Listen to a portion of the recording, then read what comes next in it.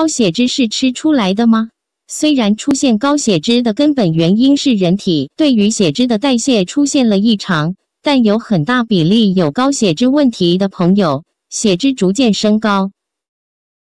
也与日常的不良饮食习惯有着密切的关系。因此，发现高血脂问题，应该在饮食上有所控制，注意有些东西尽量少吃，对于血脂的调节和辅助控制还是非常有帮助的。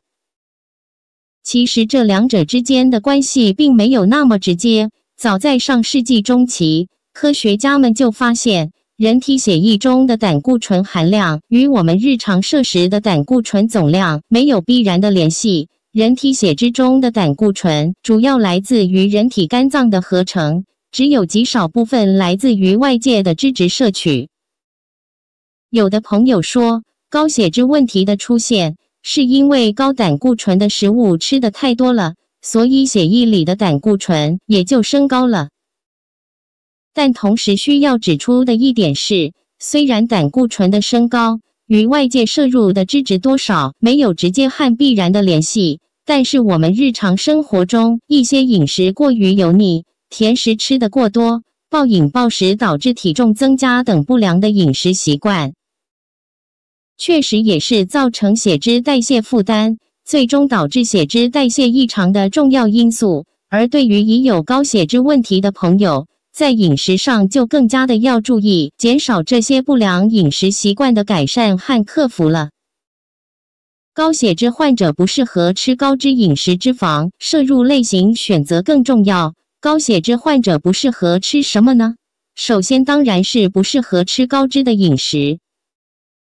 有一些饮食指南中提到要控制每日摄入的胆固醇总量，但实际上，比起控制每日摄入的胆固醇量来，控制摄入的脂质类型更重要。通常有两种脂质类型在我们的身体内很难消化，会造成脂质代谢系统的负担加重。一个是富含饱和脂肪酸的脂质，一个是富含反式脂肪酸的脂质。这么说太抽象。通常说来，动物油脂、红肉、动物内脏中的饱和脂肪酸含量都较高，高血脂患者应该尽量少吃。而高温加工过的油炸食品、烘焙食品、含油脂的零食等中，反式脂肪酸含量较多，也建议高血脂患者要尽量少吃。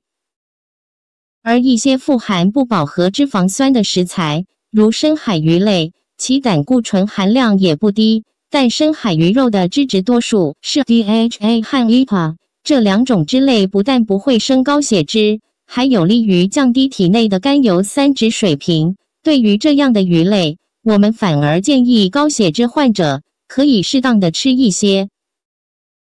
另外，像蛋黄、健康的植物油如橄榄油、亚麻籽油等这些油脂，适量的摄入一点。也是不会对血脂代谢产生不良影响的。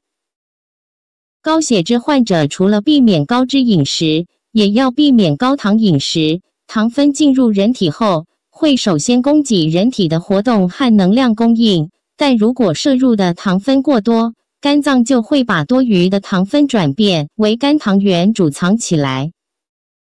而如果再有过多的糖分，我们的肝脏还会进一步的将其合成为甘油三酯，最终为转变为血脂或脂肪。这就是为什么吃糖太多会发胖、会血脂高的生理原因。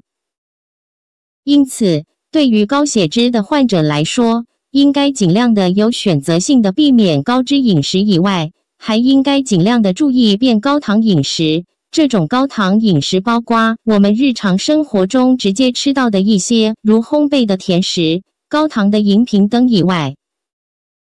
我们的主食摄入也要注意有所调整。精米白面中富含的碳水化合物吃的太多，同样能够转化为糖分，进一步的转化为脂质，影响脂质代谢。因此，一般对于高血脂问题的朋友。